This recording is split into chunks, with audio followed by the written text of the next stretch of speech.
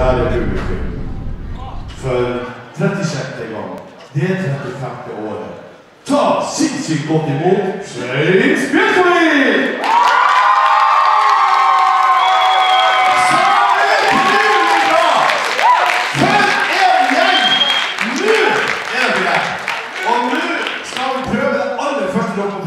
Husk på at dette er en gave man kun kan ta med seg fra hennes i hjertet. Så nå må dere ikke svikte meg. Nå tar jeg til det, og så hyler dere